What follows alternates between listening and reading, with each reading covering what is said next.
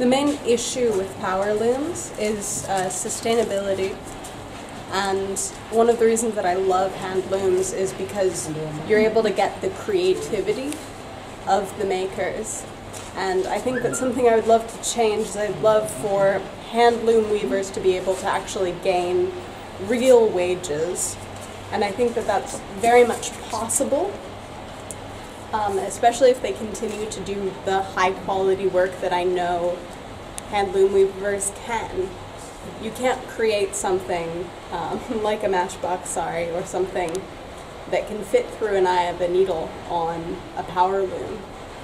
Or if you did, something would be lost, some real human connection. Um, I think it's beautiful, the work that you're doing, and I wish more people were doing work like you do. Uh, my hope that we can sort of come together to promote hand loom weaving and to promote that kind of creativity